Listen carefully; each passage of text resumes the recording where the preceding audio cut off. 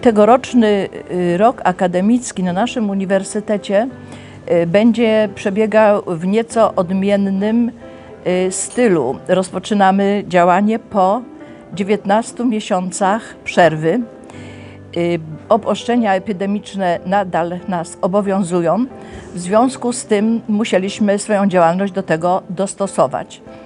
I tak na przykład będziemy, zajęcia, które będziemy odbywali w zespole szkół y, w Opalenicy, y, będą odbywały się tylko w jeden dzień tygodnia, czyli w poniedziałek, y, w godzinie popołudniowej po 16 y, w jednej sali, w tym roku jest to sala przyrodnicza, y, dlatego żeby sala mogła zostać wydezynfekowana, przewietrzona i przygotowana do naszych zajęć.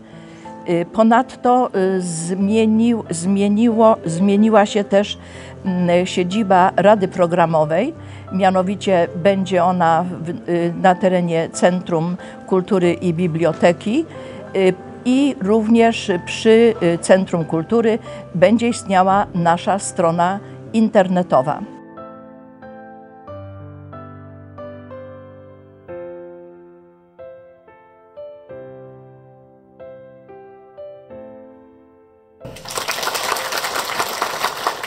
Burmistrz Opalnicy jestem dumny, że kolejny raz mogę uczestniczyć w pięknej inauguracji nowego roku akademickiego Opalenickiego Uniwersytetu Trzeciego Wieku. Rozpoczynamy nowy rok akademicki na Opalenickim Uniwersytecie Trzeciego Wieku po 19-miesięcznej przerwie. Wydaje się, że 19 miesięcy to nie tak dużo, a z drugiej strony te 19 miesięcy myślę, że po pierwsze uświadomiło nam, ile tracimy, że te wcześniejsze 10 lat e, pokazało, że stanowimy pewną zbiorowość, a tutaj nagle okazuje się, że już nie będziemy się spotykać. Ale z drugiej strony to paradoksalnie zabrzmi, ale myślę, że ta przymusowa przerwa, ten, ta pandemia uświadomiła nam właśnie wartość tego naszego spotykania się tutaj, wartość Uniwersytetu Trzeciego Wieku.